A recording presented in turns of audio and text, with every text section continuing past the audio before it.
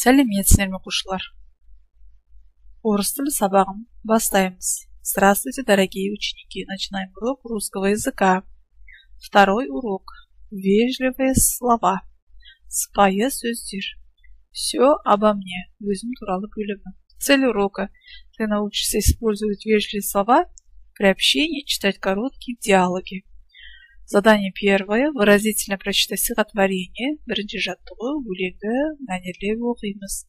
О каких добрых словах в нем говорится? Почему такие слова называют вежливыми? Добрые слова. Добрые слова. Не лень. Повторять нам трижды в день. Только выйдем за ворота, всем идущим на работу, кузнецу, врачу, ткачу, с добрым утром накричим. Добрый день, кричим мы вслед, всем идущим на обед. Добрый вечер, так встречаем всех домой, спешащих к, к чаю. Вежливые слова, один сюздер. О каких добрых словах в нем говорится? Добрые слова стихотворения с добрым утром, добрый день, добрый вечер.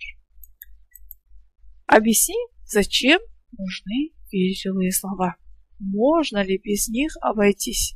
Вспомни и назови вежливые слова и выражения, которые не встретились в стихотворении. Расскажи, часто ли ты их используешь. Прочитай, найди и запиши предложение.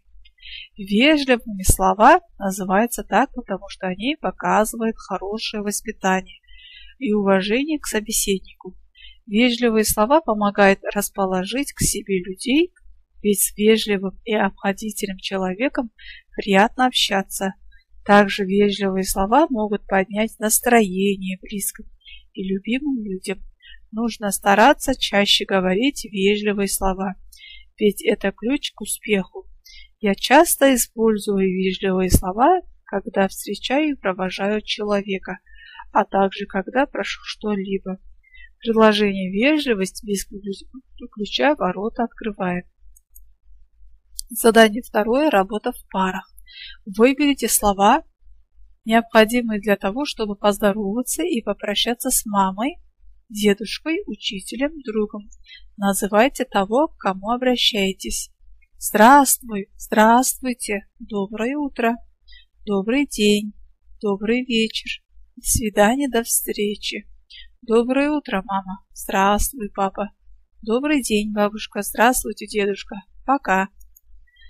Упражнение третье. Работа в группах. Подбери, подберите нужные варианты вежливых слов приветствия и прощания в каждой картинке. Поделитесь своей работой с другими группами.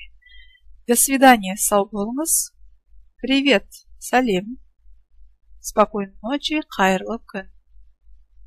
Хайрлы Упражнение четвертое. Прочитай, вставь слова благодарности от диалог ребят.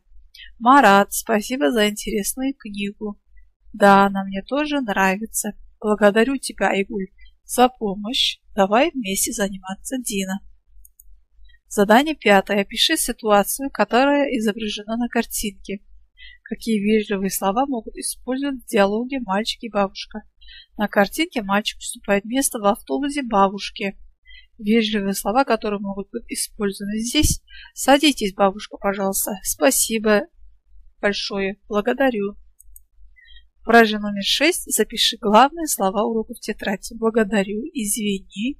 До встречи, пожалуйста, спасибо. Ребята, урок окончен. До свидания.